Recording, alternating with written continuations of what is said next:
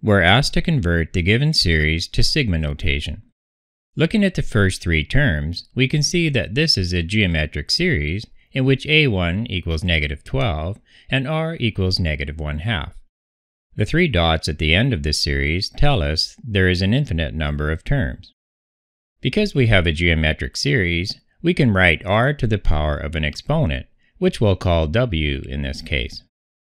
If we write negative 12 here and set w as 0 for term 1, 1 half to the power 0 equals 1, and we get negative 12 times 1, or negative 12, which is the value for term 1.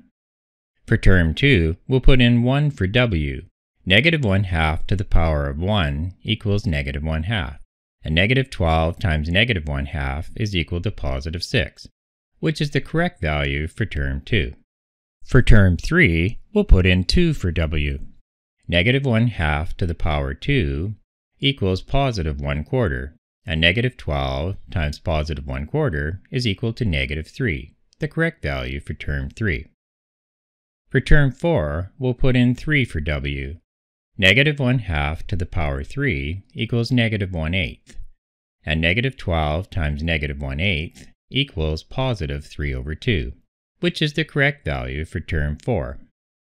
Because we have an infinite number of terms in this series, w can range from 0 to infinity. So this is a correct sigma notation for the given series.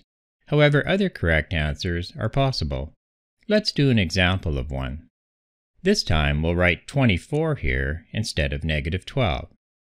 And we'll set w as 1 instead of 0 for the first term.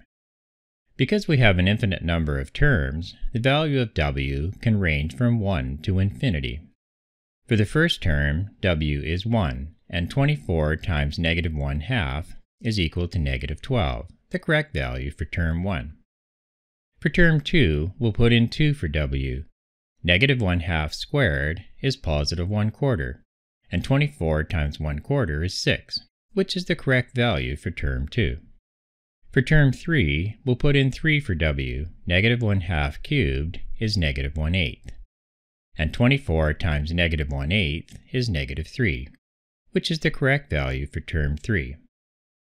For term 4, we'll put in 4 for w. Negative 1 half to the power 4 is positive 1 sixteenth, and 24 times positive 1 sixteenth is positive 3 over 2, which is the correct value for term 4.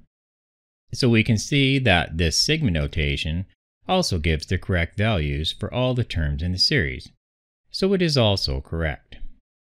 To summarize, we can state that both of these are correct sigma notations for the given series.